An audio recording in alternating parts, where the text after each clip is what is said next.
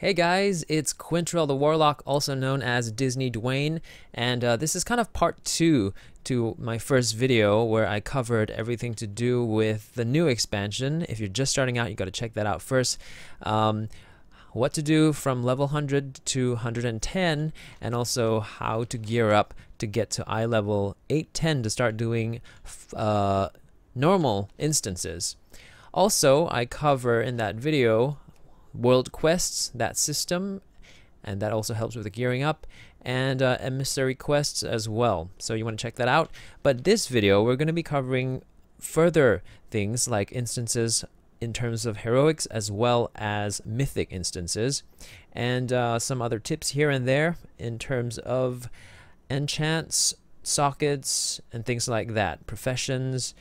And so let's start things off now with a little tip that really helps. If I knew it earlier, I would have, you know, not had so many fallen deaths uh, because the zones are quite mountainous. There's a glider kit that you can get, not the Goblin glider kit, which you can, can get from engineers, but the Rock Rocfeather Skyhorn kite, which is a little quest that you can get to get this kite, and basically this is how it works. It's really cool. Look it up on YouTube. I'll put a link. Um, this is really helpful for getting around doing your world quests and basically not having to walk so much. Cool. Alright, some other things we want to look at now. Um, reputation. That's a priority. You want to be pushing that reputation gain with a Nightfallen. Uh, and of course, Nightfallen is this region here, Suramar, um, because they open up a lot of things, especially the fourth tier piece. So let's go to the order hall. We'll have a look at that. So your tier pieces, I think there are eight tier pieces. Where am I now? There are eight tier pieces that you can open up. And uh, right now I've opened up about four tier pieces. And what's good about that, and it can really help with your world quests, because you get a bonus.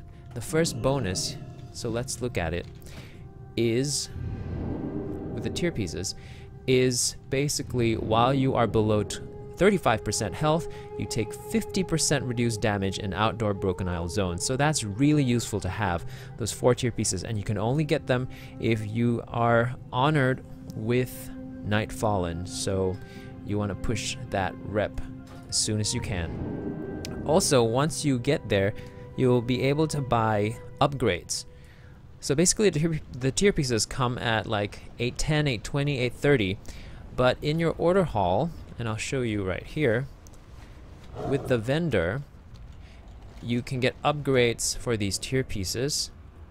And uh, what's really cool is you can buy them with order resources. So any world quest, quest with order resources uh, you want to grab because these are really important in buying these upgrades. So see, these are the upgrades.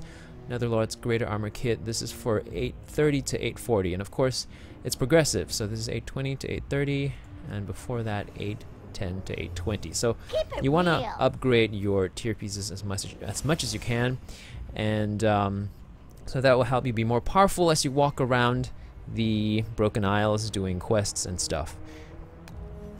The other thing uh, we want to look at is also sockets. So you'll start getting gear with sockets in them.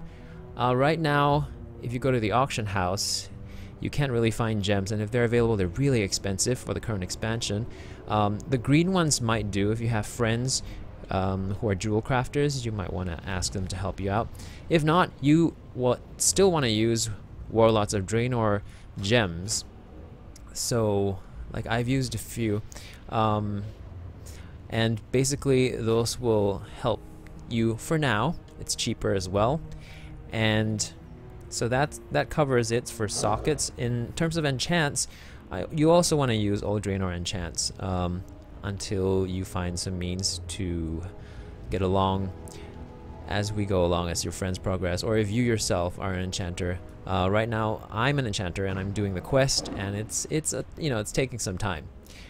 Cool. In terms of auction houses there are no auction houses in uh, Dalaran unless you are an engineer, you can go to the engineering shop and there's an auctioneer um, there's an auctioneer uh, guy called Brassbolt Mechawrench uh, the steam-powered auctioneer, and that's available to engineers. So you can access the auction house from Dalaran. I'm starting to sell Goblin Glider kits and you know old enchants and and gems and stuff like that, and it's really helpful because um, you can make money again, even from Warlords or Draenor recipes. And in terms of um, alts, if you want to look at um, leveling alts, you know, to help each other, because like jewel crafting and engineering, for example, needs mining, I think.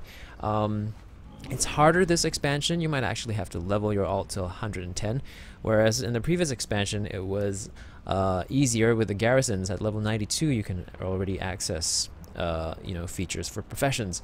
In any case, um, you want to also check out the Darkmoon Faire. I'm gonna bring up the calendar. So it's just started like yesterday, the Darkmoon Faire, and it happens every once a month. And what you want to do here, what's good about it, it, that is that it rewards you with a bonus plus 5 skill to your professions. So, of course, if you're smart about it, you want to wait till you are at level, you know, uh, 795.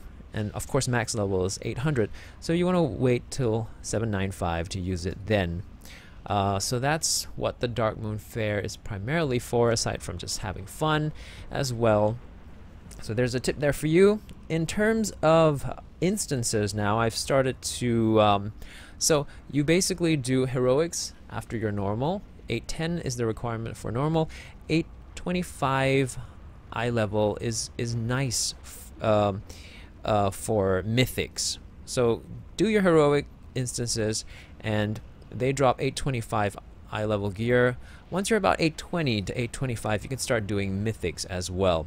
So that will gear you up. That drops 840 gear. That will really help you uh, gear up and be ready for raids, which come on, uh, uh, and they have 850 gear.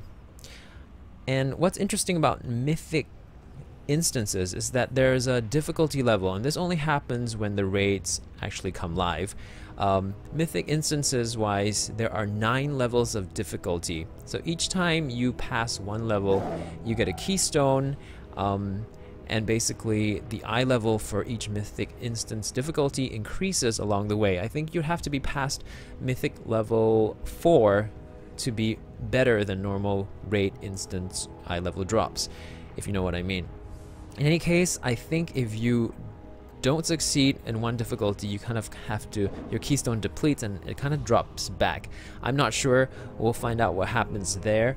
Uh, so that's very interesting that uh, Blizzard has, has done that. It's pretty cool. In any case, I'm just about finishing up my campaign order hall or order hall campaign for the Warlock. So I just wanted to take you guys through that before wrapping up this video. It basically ends with me having to choose uh, between two people to sit on the sixth seat at this council. So I'm gonna choose. Uh, this is hard now. I think I'm gonna choose um, Kira. No, actually, let's look around the council. Like, yeah, then there are not many short people represented. So I'm gonna choose Lulubelle, Fizz Fizzlebang. Friend. So she's gonna be the sixth, and let me what and when you finish your Order Hall campaign, you will basically be granted the title uh, for Warlocks is Netherlord Quintrell. I'm not sure if it's uh, the same for everyone else, but you'll get some other, you know, great stuff. But I'm gonna get my the title. awesome! Yay! And give our oaths. So, uh, yep, titles. I'm gonna instantly. oh, it's already here. cool. No Excellent. And you'll get two more followers the with the end of the, of the campaign. Basically, you'll end up with I think uh, it's was it now six, Under so seven, eight. I get eight followers now. So this is another follower. Yay! Cool How stuff. The secrets of the Burning Legion so will another, be ours to another unlock. achievement there. Cool. So as we progress along, I'll be back if I have something more to say about uh, mythic uh, instances as well as raids. But for now, I hope this video has helped you. Don't forget you can subscribe to the Disney Dwayne YouTube channel, and I'll catch you next time. Bye!